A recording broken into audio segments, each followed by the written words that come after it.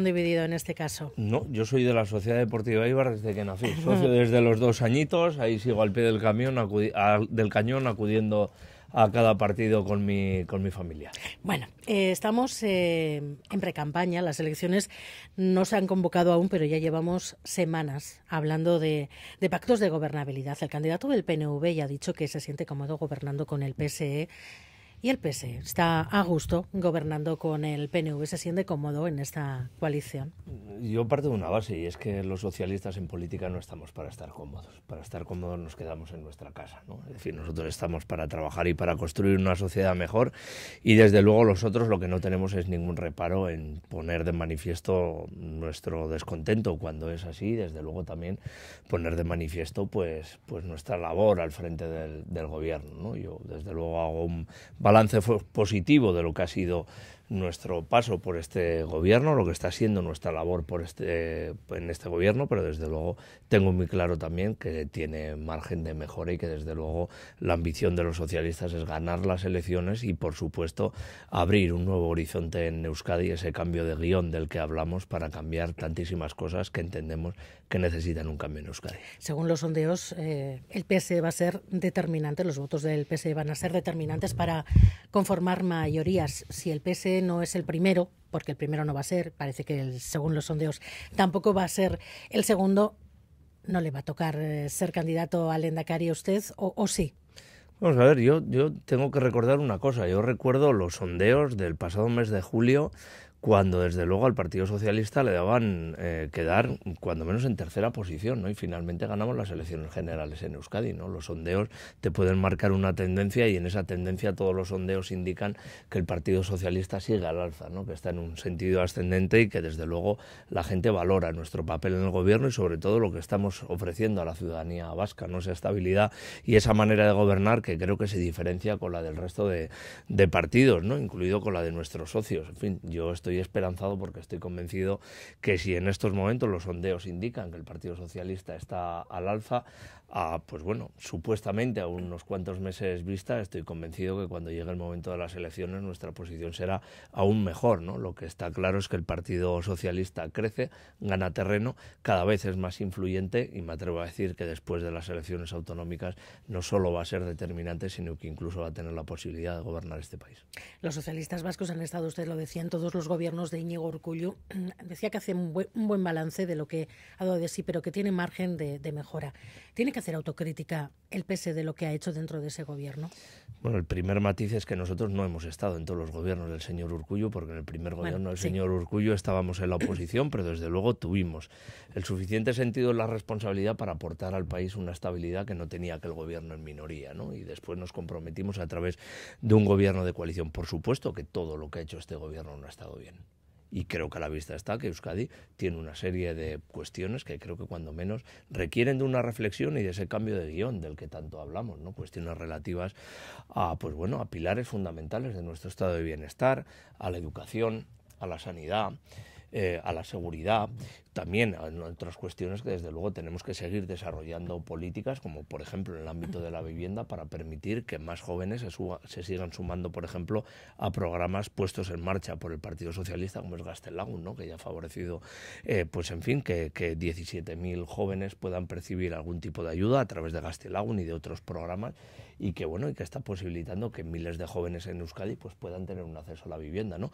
margen de mejora hay desde luego manifiesto y algunas cuestiones creo que empiezan ya a, pedir un cambio no solo en la manera de gestionar sino incluso cambios estructurales que nos abran un nuevo tiempo y que hagan posible pues por ejemplo que servicios públicos tan importantes como la sanidad o la educación vuelvan a recuperar los puestos de liderazgo que tuvieron antaño.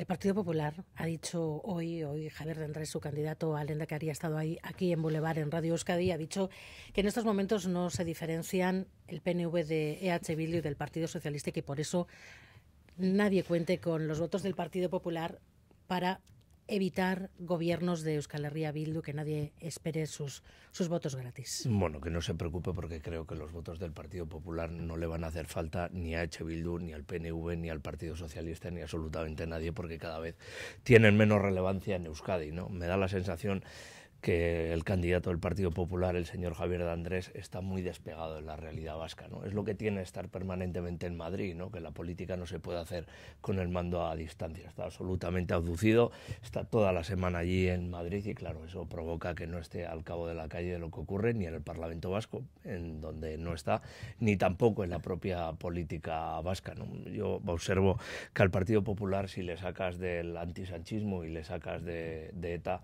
me parece que no tiene más discurso ni para Euskadi ni para España.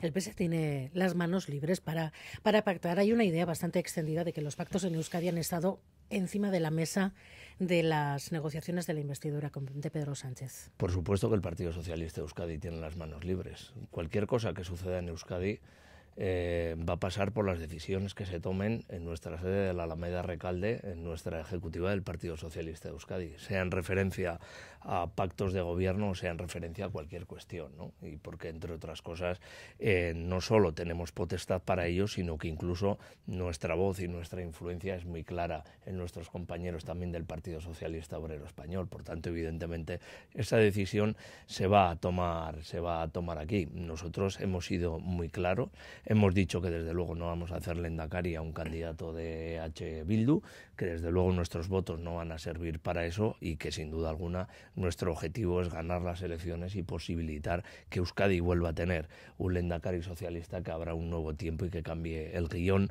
en todo lo referente a esas cuestiones tan fundamentales para que Euskadi vuelva a tener un estado de bienestar como el que tuvo en otros tiempos y que desde luego Euskadi vuelva a ser vista por otras comunidades autónomas y también, por qué no decirlo, en Europa pues como una comunidad pues con servicios públicos y con un estado de bienestar que sea un ejemplo y, que y que bueno y que en Euskadi ejerzamos ese liderazgo a través también de un cambio de guion en la manera de dirigir este país desde la lenda caricha. En los próximos cuatro años, eh, cuando se convoquen las elecciones, cuando se celebren las elecciones, viene un PSE con fuerte carácter ideológico viene un PSE, mm, digamos, que, con las ideas muy claras, ¿no? con todo lo que supone ese cambio de guion del que hablamos y que desde luego no se queda en la superficie, ¿no? que va a proponer a través de su programa pues eh, cambios estructurales y políticas transformadoras que creo que son muy interesantes para la ciudadanía. A mí me llama la atención porque hasta la fecha hemos escuchado hablar a, todos los candidatos al Endacari y a unos les, les escucho hablar de un reparto de poder antes de que incluso se celebren las elecciones, al otro autoenmendarse dentro de un proyecto continuista, a los otros pelearse para saber si van unos con otros o no van, al otro hablando de Pedro Sánchez y de ETA, y al único que le veo poner propuestas encima de la mesa es al Partido Socialista. No hemos celebrado ya varias jornadas, hemos presentado varias propuestas en materia de eh, lucha contra el cambio climático y de transición energética tan importante en un país, en fin, que tiene un déficit tan importante también en la generación de energías renovables y de, y de consumo de las mismas. En políticas de movilidad lo haremos la semana que viene, o este sábado, mejor dicho. Este pasado sábado hicimos una presentación de lo que entendemos que tiene que ser el nuevo modelo de cuidados a través de Gisakidecha, equiparándola, bueno, ese modelo de cuidados a nuestro sistema sanitario, que tengamos un modelo de cuidados que sea eh, universal, público, gratuito y de calidad. En fin, los únicos que estamos poniendo encima de la mesa propuestas somos los socialistas, ¿no? Y aún tenemos más en materia educativa para lucha contra el bullying, para dar eh, todo lo necesario a esos niños que, que, tienen necesidades especiales, para educar en una sexualidad que nos permita erradicar la violencia de género en edades tempranas, para centrar esas políticas educativas en la mejora de los resultados de los alumnos y no en cuestiones identitarias. En fin, tenemos un programa electoral que además de ser un programa electoral es un programa para cambiar a este país y para hacerlo mucho más competitivo también en materia económica, en materia industrial, en fin, yo creo que el Partido Socialista se presenta a estas elecciones con el mejor programa, siendo la mejor alternativa para cambiar este país de arriba abajo. La fórmula de Pello Chandiano, esa de mayorías progresistas donde gobierne la lista más votada, ¿por qué no es posible en, en Euskadi, en la comunidad autónoma vasca? Mm, mm, bueno, en fin, eh, porque nosotros no somos partidarios de eso, nosotros respetamos las mayorías parlamentarias. De hecho, en España estamos gobernando gracias a una mayoría parlamentaria, ¿no? Y en fin, creo que eso también hay que respetarlo. En fin, me parece muy pretencioso, cuando menos, el hacer ese tipo de ofrecimientos cuando todavía la ciudadanía ni tan siquiera ha votado, ¿no? Bueno, dejemos que primero la ciudadanía vote y después ya veremos qué tipo de coaliciones se firman, ¿no? Pero me parece bastante irrespetuoso por parte del señor eh, Ochandiano que esté ya hablando de un reparto de poder sin que tan siquiera conozcamos cuál es su programa. ¿no? En fin, aquí algunos en fin, se presentan como el cambio, resulta que lo único que cambian son las caras. En fin, me da igual que se apellido Chandiano, Otegui, Pradales o Urcullo. Al final son dos proyectos absolutamente continuistas que no ofrecen o no están ofreciendo de momento absolutamente nada más a la ciudadanía vasca. Si los compromisos se cumplen durante la nueva legislatura, mm, se deberían completar las transferencias eh, pendientes, también el régimen económico de la seguridad social y se debería la negociación para el reconocimiento de Euskadi como, como nación. Bueno, yo creo que ese reconocimiento algunos están poniendo mucho el acento en, eso y yo la veo perfectamente reconocida en nuestra Constitución, ¿no? donde se, fin, se reconoce la plurinacionalidad. Algunos tienen un empeño terrible en estar constantemente hablando de sus, de sus cosas. ¿no? Yo veía algún candidato este fin de semana, concretamente al señor Pradales, eh, autodenominándose como, como independentista. ¿no? Bueno, ese riesgo lo tenemos porque algunos, en cuanto pueden, se están centrando en esa cuestión, en esa obsesión que es única y exclusivamente suya de hablar, en fin, de bilateralidad, de nuevo estatus, de independencia, cuando eso ahora mismo no interesa en absoluto a la ciudadanía vasca. De hecho, ahí están las encuestas que así, lo dicen. En fin, a la ciudadanía vasca le importa su calidad de vida, le importan sus servicios públicos, le importa su sanidad, su educación, su seguridad, su, vivienda, su, su empleo en fin. Que, Pero es un debate que el presidente del gobierno español se ha comprometido a abrir. Bueno, es que podremos hablar hasta la eternidad y podemos perder todo el tiempo que queramos en hablar de esas cosas y estoy convencidísimo que tanto el PNV como EH Bildu no van a parar de hablar de esa cuestión porque parece que no tienen nada más que ofrecer a la ciudadanía vasca. Nosotros estamos hablando de las cosas que importan a la gente, bajando la política a tierra y haciendo ver que esos son los debates que, le gusta escuchar a la ciudadanía, porque la ciudadanía tiene que saber qué les ofrecemos cada uno de los partidos más allá de esos proyectos independentistas que nos están ofreciendo H. Bildu y el PNV. ¿no? Y, si tanto acento ponen, en fin, yo incido en que quizá sea un riesgo el que estemos corriendo y que probablemente después de las elecciones autonómicas, si tienen ocasión, pues bueno, pues pueden firmar una alianza para conseguir ese objetivo. Y ahí el Partido Socialista no va a estar nunca, porque en esos debates no se nos ha perdido absolutamente nada, ni al Partido Socialista ni a la ciudadanía vasca, que creo que tiene preocupaciones bastante más importantes como las aspiraciones soberanistas, independentistas del PNV y de H. Bildu. O sea, es cuando usted habla de que el PNV y Euskal Herria Bildu podrían intentar una especie de proceso a la vasca habla de eso. Claro, efectivamente, y es un riesgo que está, que está ahí. Es decir, eh, el señor eh, Ochandiano hizo un ofrecimiento al Partido Nacionalista Vasco y en ningún momento lo he escuchado al Partido Nacionalista Vasco decir que eh, bajo ningún concepto van a sellar una alianza con EH Bildu. De hecho, en fin, experiencias pasadas también tenemos con el Plan Ibarreche, con Lizarra.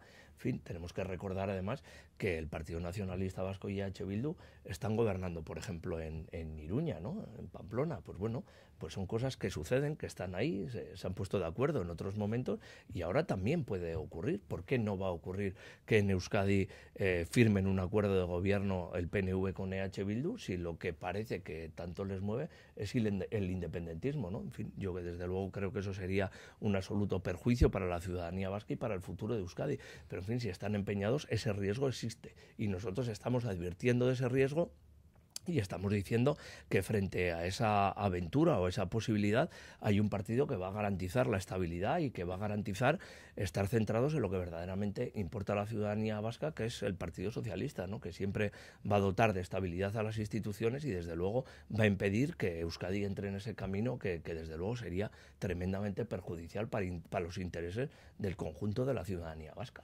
¿Cuándo querría el PSE que fueran las elecciones? El PSE está perfectamente preparado para que sean cuando cuando el Endacari decida que tienen que ser, que es el que tiene la potestad. Es decir, nosotros hemos sido los primeros que hemos eh, decidido quién, quién va a ser nuestro candidato al Endacari. En este caso me ha correspondido a mí, además sin ningún tipo de follón, sin ningún tipo de polvareda, ni externa ni interna. Y somos los primeros que hemos presentado nuestro programa electoral y que actualmente a través de una serie de jornadas estamos eh, pues dando a conocer detalles y debates que entendemos que tenemos que generar en la sociedad pues para mejorar Euskadi. ¿no? Nosotros somos los que ya hemos dicho, ya hemos empezado a decir que queremos eh, hacer en Euskadi si desde luego tenemos el honor de liderar el próximo gobierno y lo vamos a seguir haciendo. Por tanto, estamos. Y si no consiguen liderarlo, ¿qué preferirían ustedes? Pues ¿Estar dentro del gobierno con el PNV? ¿Estar dentro del gobierno con Euskal Herria Bildu? ¿Estar fuera del gobierno? No, nosotros, nosotros ya hemos dicho que ni vamos a hacerle Endacari a un candidato de Bildu, ni vamos a formar ningún tipo de gobierno con ellos y solo voy a mantener hasta, hasta el final, ¿no? Y eso va a ser algo, desde luego, que es una garantía, doy mi palabra que eso no va a ocurrir. A partir de ahí, nosotros estaremos eh, dando nuestra contribución en la mejora de, la Euskadi que nosotros entendemos que tiene que ser la Euskadi del futuro. Veremos a ver lo que ocurre, porque aquí hay algunos que están constantemente hablando eh, de reparto de, sillones, pero en fin, a mí no me importa quién, a mí me importa el, el para qué, ¿no?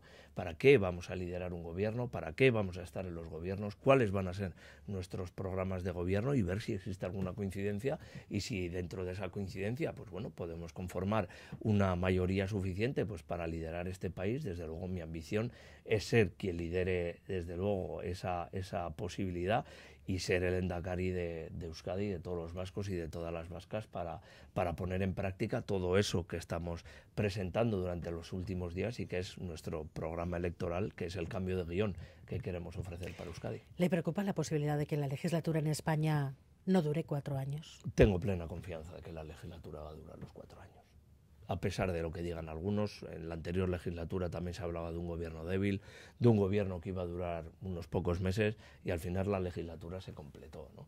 Y yo creo que esta vez va a pasar exactamente lo mismo. Hay algunos que constantemente están diciendo que el presidente del gobierno eh, va a sudar tinta a China. En fin, yo creo que lo mejor que nos puede pasar a todos y a todas es que este gobierno cumpla con los cuatro años de legislatura que tiene por delante, que desde luego siga desarrollando políticas progresistas que están siendo tan importantes en momentos tan delicados como, como estos, como después de la pandemia, como mm, después de las consecuencias que estamos sufriendo derivadas de, la guerra en Ucrania, yo creo que a todos nos conviene, especialmente a Euskadi, que este gobierno liderado por Pedro Sánchez esté los cuatro años gobernando, ¿no? porque desde luego la alternativa a ese gobierno me parece que es eh, tremendamente perjudicial para nuestros intereses, para la convivencia y para el futuro de España y también de Euskadi. ¿Cree que en estos cuatro años, si la legislatura efectivamente se, se completa, Euskadi tendrá todas las transferencias eh, previstas en el Estatuto en su poder? Pues, pues ojalá, desde luego, ojalá. Y yo a lo que aspiro es que también es que en, en Euskadi tengamos la posibilidad de centrarnos en lo importante y también de renovar nuestro estatuto de autonomía, ¿no? que tiene exactamente mi edad, porque yo soy nacido en 1979 y creo que también conviene que nuestro estatuto de autonomía se renueve. ¿no? De hecho, en la pasada legislatura conseguimos un alto porcentaje de, de acuerdo, en torno al 90%, y fue precisamente el PNV el que decidió tirarse a los brazos de H. Bildu poniendo en valor eso que ellos denominan el derecho a decidir. ¿no? Yo cuando hablo de derecho a decidir me gusta decir que el derecho a decidir es esa capacidad que tenemos en Euskadi de poder tomar decisiones en relación a 96 de, lo, de cada 100 euros que recaudamos, ¿no? de, de, tomar decisiones en torno a nuestra sanidad, a nuestra educación, a nuestras políticas de vivienda. En fin, yo creo que va siendo hora ya de que nos centremos en lo importante, de que algunos dejen a un lado, en fin, esas derivas soberanistas y esas obsesiones con el derecho a decidir y por fin tengamos un estatuto de autonomía de acuerdo a los tiempos que corren, incorporando todos los derechos sociales que hemos conquistado y desde luego tengamos un estatuto de autonomía que mire al futuro. Que a día de hoy haya sumarios abiertos por terrorismo contra los independentistas catalanes, ¿qué supone? ¿Es inocuo? Lo, primero que supone es una banalización absoluta de, del término terrorismo. Y en un sitio como Euskadi, en el que sabemos perfectamente todo lo que supone el terrorismo, en fin, observar que haya, en fin, jueces a los que yo, por supuestísimo, respeto muchísimo, decidan lo que decidan, tratar de terrorismo, pues hechos que desde luego eh, tienen un componente de violencia callejera que nadie puede ocultar, pero que desde luego para nada son actos eh, terroristas como los que hemos podido sufrir aquí en Euskadi, me parece una banalización muy grave, ¿no? porque al final estamos también tergiversando parte de nuestra historia, parte de nuestro pasado y parte muy importante de nuestro sufrimiento. En Euskadi hemos sufrido muchísimo muchísimo por culpa del terrorismo y que ahora se esté banalizando tanto sobre ese término, me parece muy, muy, muy grave, ¿no? Y creo que a cada cosa hay que llamarla por su nombre y me atrevería a decir que lo que sucedió en Cataluña fue eh, una crisis política muy grave, provocada por un lado por los independentistas y por otro lado por la irresponsabilidad de un gobierno del Partido Popular. ¿no? El Partido Socialista no ha montado ningún lío en Cataluña. El Partido Socialista está centrado de cabeza en solucionar un problema político que generaron otros. Nosotros llevamos cinco años y medio intentando solucionar un problema que generó el Partido Popular y desde luego nosotros vamos a seguir contribuyendo a que Cataluña vuelva a un estado político de normalidad y desde luego de convivencia plena previo a aquel fatídico 1 de octubre de 2017 que provocaron los independentistas y por supuesto también el Partido Popular. El PSOE está entendiendo todo lo que está haciendo el gobierno y Pedro Sánchez para para, para eso. entiende la ley de amnistía. Los casos de García Paje son casos aislados. Por supuesto que lo que no solo lo entiende, sino que lo apoya, ¿no? Y yo mm, he sido un firme defensor también porque entiendo que eso va a contribuir a la normalización política y desde luego, como decía, a conseguir una convivencia plena en, en Cataluña, ¿no? Yo recuerdo las furibundas críticas que recibíamos de la derecha y también por entonces, por qué no decirlo, de esa extrema derecha que estaba oculta dentro del Partido Popular cuando José Luis Rodríguez Zapatero y compañeros como Jesús Eguiguren, como Pachi López o como Alfredo Pérez Rubalcaba iniciaron contactos con ETA para conseguir la paz en Euskadi. En aquel entonces también nos echaron a la gente a la calle. Momento también instrumentalizaron a las víctimas del terrorismo. Y hoy podemos decir orgullosos que la paz llegó a Euskadi y llegó a España con dos gobiernos socialistas. Yo estoy convencido que dentro de unos años podremos decir con mucho orgullo que la normalidad política, que el problema político que se generó en Cataluña por los independentistas y por el Partido Popular, orgullosamente también lo solucionamos los socialistas. Eneco Andueza, secretario general del PSE y candidato al Endacari, muchísimas gracias por estar en Gamares, que ricasco. A vosotros, Gabones.